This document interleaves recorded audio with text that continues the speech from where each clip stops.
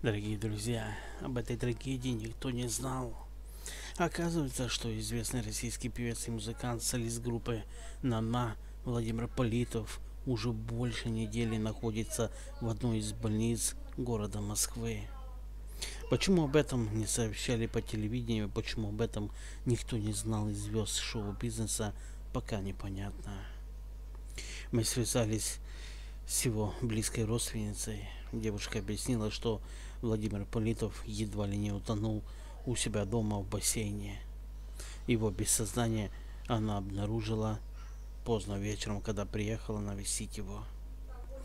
Она вызвала бригаду скорой помощи и попыталась его вытащить из воды. На данный момент его жизни и здоровью уже ничего не угрожает. Завтра рано утром мы попытаемся связаться с медиками, которые принимали и проводили обследование Владимиру Политову.